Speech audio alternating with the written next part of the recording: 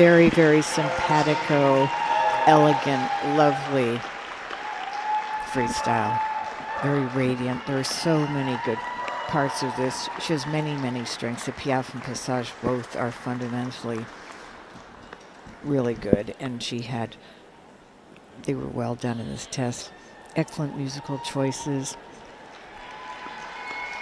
The bounding canter extension was wonderful. The well-balanced double pirouettes, the twos on the circle, the 16 one-tempies.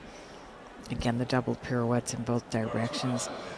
And really exuberant trot extension, lovely walk, and the music coming in and, and uh, the entrance and also departure in the center line where she rode the Piaffe Passage again. This was a lo- really beautiful, beautiful freestyle.